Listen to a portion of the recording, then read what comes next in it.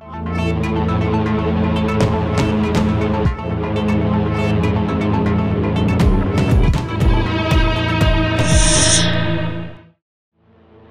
Con dos décadas de trabajo de investigación científica en la Casa Hidalgo, para 1981, la Universidad Michoacana contaba con numerosos programas apoyados por la Secretaría de Educación Pública y el Consejo Nacional de Ciencia y Tecnología, CONACYT.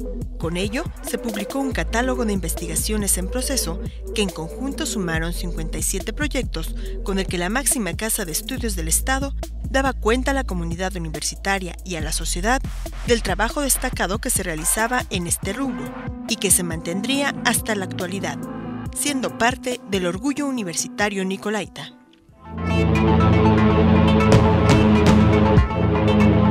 ...2017... Año del centenario de la Universidad Michoacana de San Nicolás de Hidalgo.